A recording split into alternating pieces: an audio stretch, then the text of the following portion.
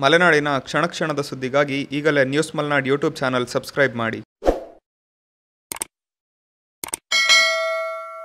ಈಗ ವಿಶ್ವ ಹಿಂದೂ ಪರಿಷತ್ ಬಜರಂಗ ದಳ ಪರಿವಾರದ ಒಂದು ಅಂಗ. ಅವರು ಪ್ರತಿ ವರ್ಷ ರಾಜ್ಯ ಮಟ್ಟದ್ದು, ರಾಷ್ಟ್ರ ಮಟ್ಟದ್ದು ಅಭ್ಯಾಸ ವರ್ಗಗಳನ್ನು ಒಂದೊಂದು ಜಿಲ್ಲೆಯಲ್ಲಿ ಮಾಡ್ತಾರೆ. ಇದರಲ್ಲಿ ಈ ವರ್ಷ ಕೊಡಗು ಜಿಲ್ಲೆಯಲ್ಲಿ ಮಾಡಿದ್ದಾರೆ. ಅದರಲ್ಲಿ ತ್ರಿಶೂಲ ಏನು ಬ್ಯಾನ್ ಆಗಿದೆ. ಅದು ಹಿಡ್ಕೊಳ್ಬಾರ್ದು, ಅದನ್ನು ಅಭ್ಯಾಸ ಮಾಡಬಾರ್ದು ಅಂತ. ಅದೇನು ಆಗಿಲ್ಲ. ಸಿದ್ದರಾಮಯ್ಯ ಅವರ ಚರಿತ್ರೆ ಎಲ್ಲರಿಗೂ ಗೊತ್ತಿದೆ. ಅವರ ಬೆಳಗ್ಗೆ ಎದ್ದ ಹಾಗೆ ಇವತ್ತು ಅಲ್ಪಸಂಖ್ಯಾತರ ಮುಸಲ್ಮಾನರ ಪರ ಏನು ಸ್ಟೇಟ್ಮೆಂಟ್ ಕೊಡಲಿ, ಅವ್ರನ್ನ ಓಲೈಸೋದು ಹೇಗೆ ಅಂತ ಹೇಳುವಂಥದ್ದು ಅವ್ರದ್ದು ದಿನನಿತ್ಯದ ದಿನಚರಿ ಸುರಾಗದೆ ಸಿದ್ದರಾಮಯ್ಯಂದು ನಾವೆಲ್ಲ ಬೆಳಗ್ಗೆ ಎದ್ದು ಓಂ ಇದು ಇದು ಯೋಗ ಎಲ್ಲ ಮಾಡಿದರೆ ಅವರು ಬೆಳಗ್ಗೆ ಎದ್ದು ಇವತ್ತು ಅಲ್ಪಸಂಖ್ಯಾತರು, ಮುಸಲ್ಮಾನರ ಬಗ್ಗೆ ಏನು ಸ್ಟೇಟ್ಮೆಂಟ್ ಕೊಡೋದು ಅಂತ, ಅವರು ಸಂವಿಧಾನದ ಬದ್ಧತೆ ಇನ್ನೊಂದು ನಮಗೆ ಹೇಳಿಕೊಡುವ ಅಗತ್ಯತೆ ಇಲ್ಲ. ನಾವು ಸಣ್ಣದರಿಂದಲೇ ಸಂಘ ಪರಿವಾರದಲ್ಲಿದ್ದಾಗ ನಮಗೆ ಏನು ಬದ್ಧತೆ, ಈ ದೇಶದ ರಾಷ್ಟ್ರಭಕ್ತಿ ಏನು ಅನ್ನೋದು ಹೇಳ್ಕೊಟ್ಟಿದೆ ಇವರಿಂದ ಕಲಿಬೇಕಾಗಿಲ್ಲ. ಇವರ ಆಡಳಿತ ಅವಧಿಯಲ್ಲಿ ಏನು ಮಾಡಿದ್ದಾರೆ? ಎಲ್ಲ ಆ ಮುಸಲ್ಮಾನರು ಗೂಂಡಾಗಳು, ಎಲ್ಲ ದುಂಡಾವರ್ತನೆ ಮಾಡಿದವ್ರದ್ದು ಕೇಸನ್ನು ವಾಪಸ್ ತೆಗೆದಿದ್ದಾರೆ. ಈಗ ಅವ್ರದ್ದೇ ಎಂ ಎಲ್ ಎ, ಒಬ್ಬ ದಲಿತ ನಾಯಕ, ಎಂ ಎಲ್ ಎ ಅವರ ಮನೆಗೆ ಆ D J Halli, K G Halli ಅಂತ ಎಲ್ಲ ಹಾಗೆ ಗಲಾಟೆ ಮಾಡಿದ್ರಲ್ಲ ಎಲ್ಲ ಎಲ್ಲೋಗಿತ್ತು ಇವ್ರಿಗೆ ಸಂವಿಧಾನ, ಅದೆಲ್ಲ ಸಂವಿಧಾನ ಪರನ ಆ ಥರ ಗೂಂಡಾಗಿರಿ ಮಾಡೋದು. ಇತ್ತೀಚೆಗೆ ಹುಬ್ಬಳ್ಳಿಲಿ ಪೋ ಯಾರೋ ಹುಡುಗ ಏನೋ ಮಾಡ್ದೆ, ಇಮಿಡಿಯೇಟು ಡೆಲಿಟು ಮಾಡ್ದ, ಇಡೀ ಪೊಲೀಸ್ ಸ್ಟೇಷನ್ಗೆ ಅಟ್ಯಾಕ್ ಮಾಡ್ತಾರೆ. ಎಲ್ಲ ಹೋಗಿದ್ರು ಸಿದ್ದರಾಮಯ್ಯ? ಯಾಕೆ ಆಗ ಸಂವಿಧಾನ ಇನ್ನೊಂದು ಅವ್ರಿಗೆ ಯೋಚನೆ ಬರಲಿಲ್ವ? ಇವರಿಂದ ಸಂವಿಧಾನ ನಾವು ಕಲಿಬೇಕಾಗಿ ಇಲ್ಲ. ಅವ್ರಿಗೆ ಹೇಳ್ಕೊಡ್ಬೇಕು. ಸಂವಿಧಾನನ ಇನ್ನೊಂದು ಸಲ ಓದಿ. ಅವರ ಸ್ಟೇಟ್ಮೆಂಟ್ಗಳು ಏನಿದೆ, ಆ ಸಂವಿಧಾನ ಶಿಲ್ಪಿ ಅಥವಾ ಸಂವಿಧಾನವನ್ನು ಯಾರು ನೇತೃತ್ವ ವಹಿಸ್ಕೊಂಡು ಬ ಬರೆದಂಥ ಡಾಕ್ಟರ್ ಬಿ ಆರ್ ಅಂಬೇಡ್ಕರ್ ಅವರಿಗೆ ಇವರು ಇಂಡೈರೆಕ್ಟ್ಲಿ ಅವ್ರ ಹೆಸರು ಹೇಳ್ಕೊಂಡು ಅವಮಾನ ಮಾಡ್ತಿದ್ದಾರೆ ಸಂವಿಧಾನದಲ್ಲಿ ಎಲ್ಲಿದೆ ಹಾಗೆ? ಇವರು ನಮಗೆ ಸಂವಿಧಾನ ಇನ್ನೊಂದು ಹೇಳ್ಕೊಡೋದು ಬೇಡ. ಅಲ್ಲಿ ಬಜರಂಗ ದಳದವರು ತ್ರಿಶೂಲ ಬ್ಯಾನ್ ಆಗಿಲ್ಲ. ಇನ್ನೊಂದು ಯಾವುದೋ ನಾನು ಟ್ವಿಟ್ಟರ್ಲಿ ನೋಡಿದೆ.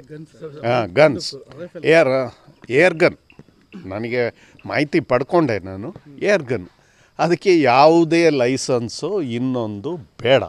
ಅದನ್ನು ಇವತ್ತಿನ ಪರಿಸ್ಥಿತಿ ಆಗಿದೆ. ಜಮ್ಮು ಕಾಶ್ಮೀರದಲ್ಲಿ ಏನಾಯಿತು? ಸರ್ಕಾರಿ ಕಚೇರಿಗೆ ನುಗ್ಗಿ ಅಟ್ಯಾಕ್ ಮಾಡ್ತಾರೆ. ಆಗ ಸೆಲ್ಫ್ ಡಿ ಡಿಫೆನ್ಸ್ಗೆ ಬೇಕೇ ಬೇಕಲ್ಲ, ಇಲ್ಲೂ ಏನು ಭಾಳ ದೂರ ಇಲ್ಲ. ಇವರ ವೆಲ್ ಆರ್ಗನೈಸ್ಡ್ ಅಟ್ಯಾಕು ಇದು. ಆಗ ಸೆಲ್ಫ್ ರಕ್ಷಣೆಗೆ. ಏನಾದರೂ ಒಂದು ವ್ಯವಸ್ಥೆಗಳು ಬೇಕಲ್ಲ, ಅದಕ್ಕೆ ಬಜರಂಗದವಳು ಮಾಡ್ತಾ ಇದ್ದಾರೆ. ವಿತಿನ್ ಪರ್ವ್ಯೂ ಆಫ್ ದಿ ಕಾನ್ಸ್ಟಿಟ್ಯೂಷನ್ನು ಅವ್ರು ಹೇಳ್ದಾಗೆ ಅಥವಾ ಲಾ ಎಲ್ಲಿ ಲಾ ಬ್ರೇಕ್ ಮಾಡಿದ್ದಾರೆ? ಅದು ಒಂದು ವಿದ್ಯಾಸಂಸ್ಥೆ ಒಳಗೆ ಅಷ್ಟೇ. ಅದು ಖಾಸಗಿ ವಿದ್ಯಾಸಂಸ್ಥೆ.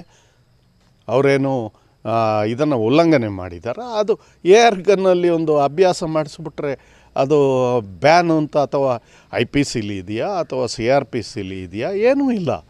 ತಿಳ್ಕೊಳ್ಬೇಕು, ಇವರು ಬ ಅಲ್ಪಸಂಖ್ಯಾತರನ್ನು ಹೊಗಳೋ ಒಂದು ರಭಸದಲ್ಲಿ ಬಾಯಿಗೆ ಬಂದಾಗೆ ಮಾತಾಡಿದ್ರೆ ನಮಗೂ ಬರ್ತದೆ.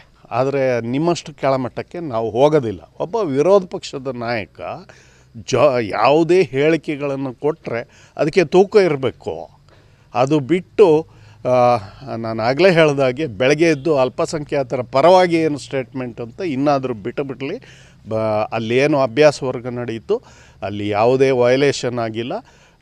ಕಾನೂನಿನ ಇತಿಮಿತಿ ಒಳಗೆ ಈ ದೇಶದ ರಕ್ಷಣೆ, ಈ ಹಿಂದೂ ಸಮಾಜದ ರಕ್ಷಣೆಗೋಸ್ಕರ ಏನು ಯುವಕರು ಮಾಡಬೇಕು ಅದನ್ನು ಹೇಳ್ಕೊಟ್ಟಿದ್ದಾರೆ. ಸ್ಥಳೀಯ ಶಾಸಕರು ಭಾಗಿಯಾಗಿರೋದ್ರಿಂದ ಹಾಂ. ಸರ್ಕಾರಿ ಪ್ರಾಯೋಜಿತ ಕಾರ್ಯಕ್ರಮ ಆಗಿದೆ ಅಂತ ಸ್ಥಳೀಯ ಶಾಸಕರು ಸರ್ಕಾರಿ ಆಗಿದೆ ಅಂತ ಹೇಳಿ ಅವರು ಯಾವ ನಿಯಮದಡಿ ಹೇಳಿದ್ದಾರೆ ಅನ್ನೋದನ್ನು ನನಗೆ ಒಂದು ಸ್ವಲ್ಪ ಹೇಳಲಿ ಅದಕ್ಕೆ ಹೇಳಿದ್ದು. ಇವರಿಗೆ ಬೆಳಗ್ಗೆ ಎದ್ದಾಗೆ ಅದೇ ಯೋಚನೆ.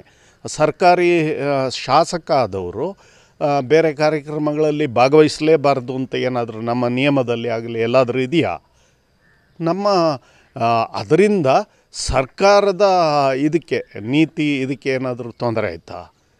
ಏನಾಗಿಲ್ಲಲ್ಲ? ಅದನ್ನು ಹೇಳಲಿ ಅವರು. ಎಸ್ ಟಿ ಪಿ ಅವರು ಕೂಡ ಈಗ ರಾಜ್ಯಪಾಲರಿಗೆ ಬೆಳಗ್ಗೆ ಎದ್ದಾಗೆ ಅದೇ ಯೋಚನೆ. ಸರ್ಕಾರಿ ಶಾಸಕ ಆದವರು ಬೇರೆ ಕಾರ್ಯಕ್ರಮಗಳಲ್ಲಿ ಭಾಗವಹಿಸಲೇಬಾರ್ದು ಅಂತ ಏನಾದರೂ ನಮ್ಮ ನಿಯಮದಲ್ಲಿ ಆಗಲಿ ಎಲ್ಲಾದರೂ ಇದೆಯಾ? ನಮ್ಮ ಅದರಿಂದ ಸರ್ಕಾರದ ಇದಕ್ಕೆ ನೀತಿ ಇದಕ್ಕೆ ಏನಾದರೂ ತೊಂದರೆ ಆಯಿತಾ? ಏನಾಗಿಲ್ಲಲ್ಲ? ಅದನ್ನು ಹೇಳಲಿ ಅವರು. ಎಸ್ ಡಿ ಪಿ ಅವರು ಕೂಡ ಈಗ ರಾಜ್ಯಪಾಲರು ಎಸ್ ಡಿ ಪಿ ಐ ಉಂಟಲ್ಲ ಅವರಿಗೆಲ್ಲ ಅವರು ಹಾದಿ ಬೀದಿಲಿ ಹೋಗೋರು ಅವರಿಗೆಲ್ಲ ನಾನು ಕೌಂಟ್ರ್ ಕೊಡೋದಿಲ್ಲ. ಯಾವ ಕಾರಣಕ್ಕೂ ಕೊಡೋದಿಲ್ಲ.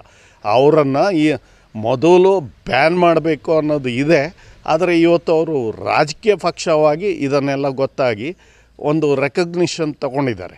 ಒಂದು ಸ್ವಲ್ಪ ಬ್ಯಾನ್ ಮಾಡಬೇಕಾದ್ರೆ ಬೇರೆ ಬೇರೆ ಸಾಕ್ಷಿ ಆಧಾರಗಳು ಬೇಕಾಗ್ತದೆ. ಹಾಗಾಗಿ ಎಸ್ ಡಿ ಪಿ ಐ ಈ ದೇಶಕ್ಕೆ ಮಾರಕ. ಎಸ್ ಡಿ ಪಿ ಐ ಅದು ಏನು ಪಿ ಎಫ್ ಐ ಇನ್ನೊಂದು ಎಲ್ಲ ಇಂಗ್ಲೀಷ್ ಆಲ್ಫಾಬೆಟಿಕಲ್ನ ಹಾಳು ಮಾಡಿ ಕೂತಿದ್ದಾರೆ. ಅವರು ಖಂಡಿತ ಈ ದೇಶಕ್ಕೆ ಮಾರಕ. ಅವ್ರಿಗೆ ರಿಯಾಕ್ಷನ್ ಎಲ್ಲ ಕೊಡುವಷ್ಟು ದೊಡ್ಡ ಮನುಷ್ಯರು ಅವರಲ್ಲ ಅವ್ರು ತಿಳ್ಕೊಂಡಿರ್ಬೋದು ಹಾಗೆ. ಅವರೇನಂತ ಯೋಗ್ಯತೆಯೂ ಹೊಂದ್ಕೊಂಡಿಲ್ಲ. ಸರ್ ಪೊನ್ನಪೇಟೆ ಲಿಂಬಗೆ ಪ್ರಕರಣ ದಾಖಲಾಗಿದೆ. ಆಗಲಿ. ನನಗೇನು ಕೇಸು ಇನ್ನೊಂದು ಅದೇನು ಹೊಸದಲ್ಲ. ಅದೆಲ್ಲ ಎದುರಿಸುವ ಶಕ್ತಿ ಇನ್ನೂ ಇದೆ. ದಾಖಲು ಮಾಡಲಿ. ಅದಕ್ಕೇನಿಲ್ಲ. ಎದುರಿಸ್ತೀನಿ. ಆ ಕಾರ್ಯಕ್ರಮದಲ್ಲಿ ಯಾರೆಲ್ಲ ನಾನು ಕಾರ್ಯಕ್ರಮದಲ್ಲಿ ಭಾಗಿ ಆಗಲಿಕ್ಕೆ ನನಗೆ ಟೈಮೇ ಇರಲಿಲ್ಲ. ಭಾಗಿ ಆಗಿದ್ದೀನೋ ಆಗಿಲ್ಲೋ ಅಂತ ನಾನೇನು ಹೇಳಬೇಕಾಗಿ ಇಲ್ಲ. ಆದರೆ ಅಲ್ಲಿಗೆ ವಿಸಿಟ್ ಮಾಡೋದು ನನ್ನ ಕರ್ತವ್ಯ. ನಮ್ಮ ಪರಿವಾರದ ಒಂದು ಕಾರ್ಯಕ್ರಮ ನಡೆಯುವಾಗ ಅಲ್ಲಿ ಹೋಗಿ ಏನಾದರೂ ಸಮಸ್ಯೆಗಳಿದೆಯಾ, ಅಲ್ಲಿ ಊಟ ಎಲ್ಲ ಕೊಡಬೇಕಲ್ಲ. ಅದಕ್ಕೆ ಏನಾದರೂ ಸಮಸ್ಯೆಗಳಿದೆ ಅಂತ ಹೋಗಿ ಕೇಳಿದ್ದೀನಿ. ಅದರಲ್ಲಿ ಏನು ತಪ್ಪು? ನಾನೇನು ಗನ್ ಹಿಡ್ಕೊಂಡು ಅಭ್ಯಾಸ ಮಾಡಿ ಅಥವಾ ನನ್ನ ಮನೆಯಿಂದ ಗನ್ ತೊಗೊಂಡು ಹೋಗಿಲ್ಲ. ಅದನ್ನು ತಿಳ್ಕೊಳ್ಬೇಕು ಸ್ಟೇಟ್ಮೆಂಟ್ ಕೊಡೋ ಮೊದಲು ಸಿದ್ದರಾಮಯ್ಯ. ಅಥವಾ ಗನ್ ಹಿಡಿಯೋದು ನಮ್ಮ ಜನ್ಮ ಸಿದ್ಧ ಹಕ್ಕು ಇವನು ಯಾರು ಇನ್ನು ಏಕವಚನ ಪ್ರಯೋಗ ಮಾಡಬೇಕಾಗುತ್ತೆ.